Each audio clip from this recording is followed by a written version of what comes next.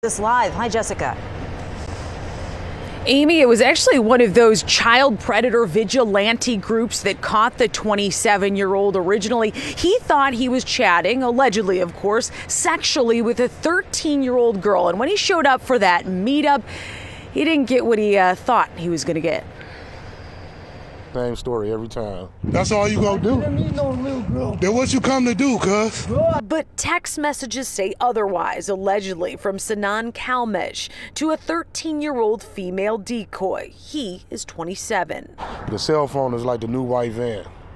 With the, with the guy with the candy in it and stuff, that, that's this now. Robert Lee and the group Dads Against Predators in their latest sting, luring would be child predators on chat apps. This time, the app Meet Me. A sample of their alleged explicit messages shows clearly he knows the decoy is 13, but then sends a shirtless pic and discussions about what they do after meeting up in the pop aisle at this Harrison Township Kroger this month. Nobody. Nobody? Yeah. Or like everybody else, he said he didn't he didn't know the girl was 13. He didn't come to do anything, and then uh, he panicked and he, he ran off. You pedophile!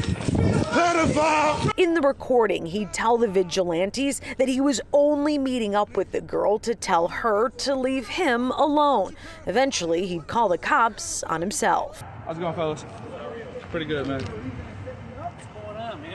An investigation by the Macomb County Sheriff's Office led to six felony charges for child sexually abusive activity and using a computer to commit a crime. I can appreciate anybody that wants to go ahead and protect children. Why wouldn't we? Macomb County Prosecutor Peter Lucido backs the vigilantes but urges caution. I know the, the predators in all forms. We first introduced you to Robert last year after his sting led to charges against an Oakland County Sheriff's deputy who's since been fired. Investigators say the 33 year old former deputy was negotiating sex acts with Robert, posing as a 15 year old girl on the app Whisper. They lurking around on the internet, they lurking around on video games or anything that your kids can be contacted on.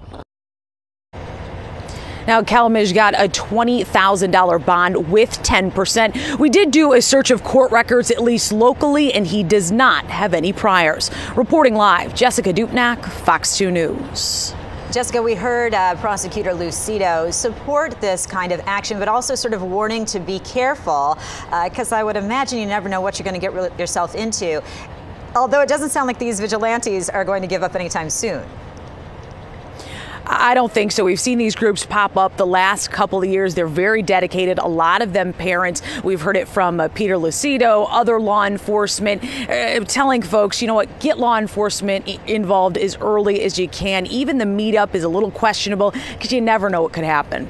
Absolutely. All right. Thank you so much, Jessica Dupnack. As always, we appreciate you.